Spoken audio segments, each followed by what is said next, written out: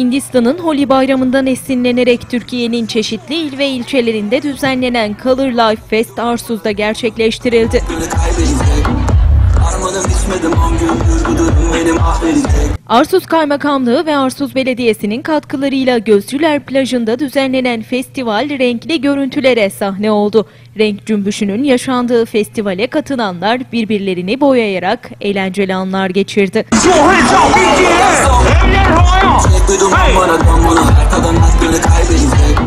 Ulusal ve uluslararası alanda ün yapmış Burak Yeter, Miraç İnan, Cielo, Arem Özgüç, Arman Aydın, İmran Aydın gibi DJ'lerin katıldığı festivalde gün boyunca DJ performansları, saat başı renk yağmuru, çeşitli şovlar ve sürpriz gösteriler gerçekleştirildi.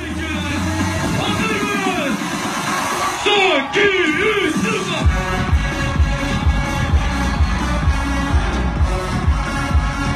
Arsuz Belediye Başkanı Nazım Culha bu gibi etkinlikleri arttırarak devam ettireceklerinin altını çizdi.